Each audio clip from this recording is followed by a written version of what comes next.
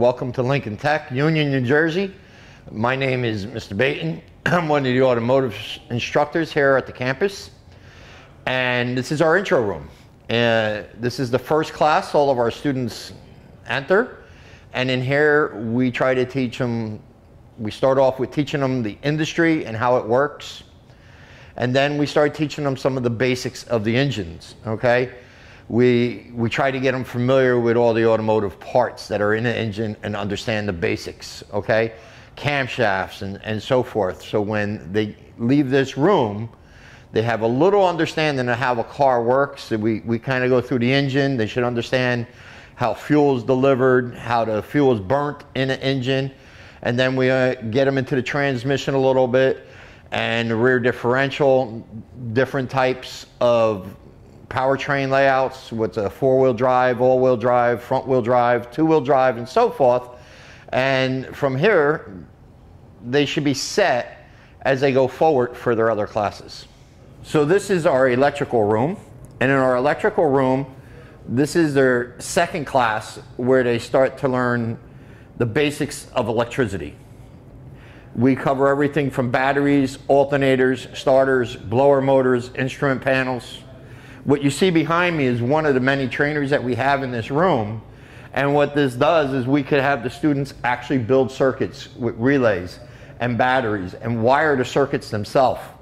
And then actually put their meters in to be able to take voltage readings and start understanding voltage drop and Ohm's law, how electricity flows. So this is our engines room, and in the engines room, the students are basically learning all different types of motors. One of the motors we have in our engines room right here, as you can see, are a lot of four-cylinder non-interference motors.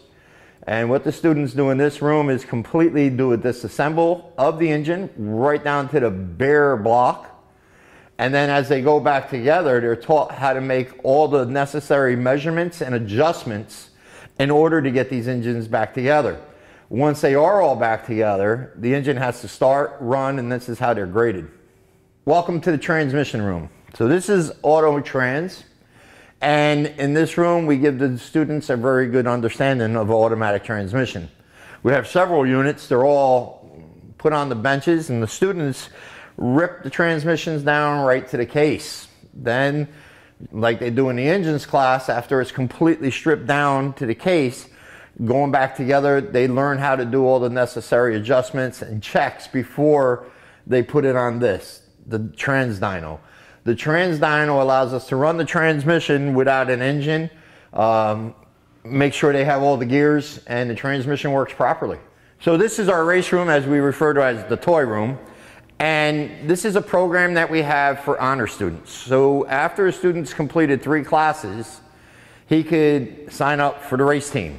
And in our race team, our students come in here twice a week after class, and they are the ones that work on the cars and do all the necessary repairs and build the cars, okay?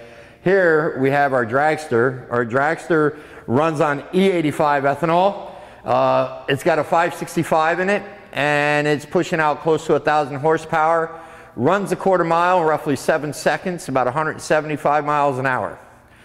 Behind us is the Pontiac. The Pontiac is what started our race team. It's a very heavy car. It's 3,600 pounds, which is heavy for a race car, versus this is 1,800.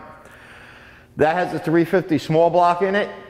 That's stroker engine that's punched out to a 440. Uh, this car has come a long way. When the students first started working on that car, it's what started the race team, and it was a 14 second car, which was nothing really to brag about.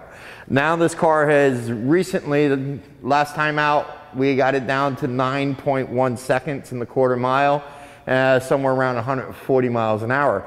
As you see to my left, this is our next project. This is a Mustang that we're building. This is going to be a, a road race car slash show car that we could take to shows. We've already did all the suspension work in it, and now they're getting ready to do the whole brake system. Welcome to the drivability and fuels room. So in this room, our students learn all the different fuel delivery systems, and they also learn about drivability problems, okay? As you see here, we have some trainers to teach them how the EVAP system works. different fuel delivery systems. So in our heat and air conditioning room, this is one of many trainers that we have that the students can get in here and actually see how coolant flows through the heater quarter. And we actually have a false front of a motor here. But more important, they really get to understand air conditioning this, with this tool. And they're able to hook up their gauges, do evacuation and recharge, and also really start to understand air conditioning. A lot of clear tubes on here, so they actually can see the refrigerant changing from a liquid to a gas. So this is our shop. Right now it's kind of set up for a drive-through because even though our school is closed, we have been keeping our students engaged online and trying to get all the theory behind all these classes so when we do get back into the building, they'll be doing their hands-on. That's why we have the tables set up here.